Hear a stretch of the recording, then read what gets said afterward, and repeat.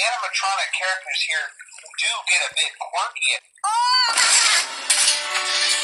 Oh!